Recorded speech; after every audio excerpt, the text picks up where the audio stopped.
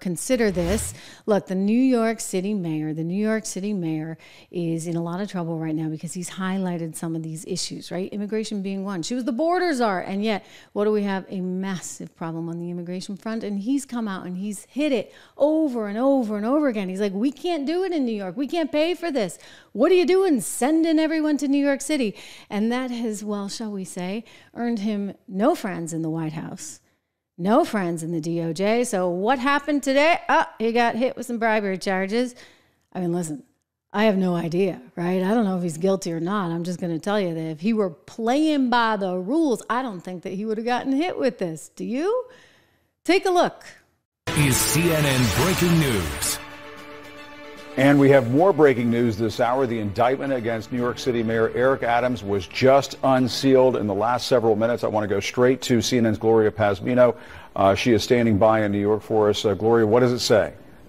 We just got uh, the indictment just a few minutes ago. We are all reading through it, uh, Jim. But so far, we see five charges. The first charge, conspiracy to commit wire fraud, federal program bribery, and uh, to receive campaign contributions from foreign nationals. This is what we knew federal investigators had been looking into for nearly a year now. Whether or not the Eric Adams campaign in 2021 conspired with Turkish nationals to funnel campaign donations into that 2021 campaign. And that is exactly what this indictment appears to be laying out. You know, There's also just, a. Let me jump in. I'm going to say something here because I think, I think that Donald Trump must be like squeaky clean squeaky, squeaky, squeaky clean because they've never hit him with some of these like obvious things that say they went after the New Jersey senator with or that they're going after the New York City mayor with.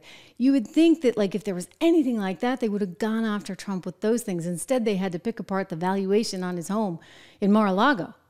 Right? Like I mean, that's when you're really kind of scraping the bottom of the barrel. Letitia James.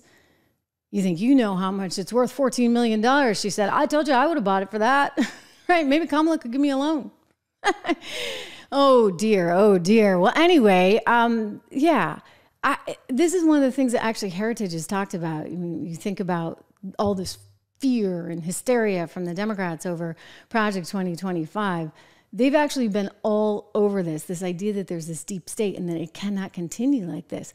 Donald Trump's like, this is not my idea. They try and paint it, of course, the left does as his idea, but it's not my idea.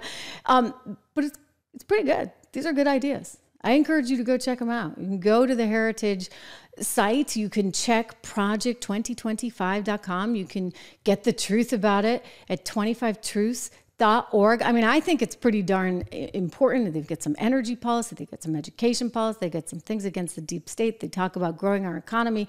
It's kind of a no brainer. But why does it scare the left so much? Meanwhile, oh, guess who's really scared? Well, she just wants them gone. I don't know why. But AOC, ladies and gentlemen, AOC, AOC's on the attack, going after Mayor Adams. Here she is saying he needs to leave. He leaves, needs to leave now. Watch. Right now, I think this is squarely about Mayor Adams' ability to govern New York City and for the New York City governance to be fully staffed to serve the people of New York City. And frankly, under this constant stream of scandal, uh, I do not know if the city will be able to even name replacements. Uh, for all of these resignations and vacancies at this point. And so it is a very unfortunate time. Um, we, we do not want to see this happening in our city, but unfortunately it is. And I think for the best of the city, and so that we can continue to staff the administration of the city, it would be best for Mayor Adams to step Leader Jeffries. It's really interesting how they've gone after him. They really want him gone. He's talking about that here today. I want to share an excerpt from his press conference. The best federal prosecutors who gave the directive and the orders, I don't know. But we should ask them who gave the directive and orders uh, that uh, we're going to uh, take on and, and create this group of lies? They have the answer to that question. Uh, when it comes down uh, to reading it, I peruse through it to get the top lines. The attorneys are going to dig into the crevices of it, but it is clear. Uh, everyone that knows me knows I follow campaign rules mm-hmm. and I follow the law.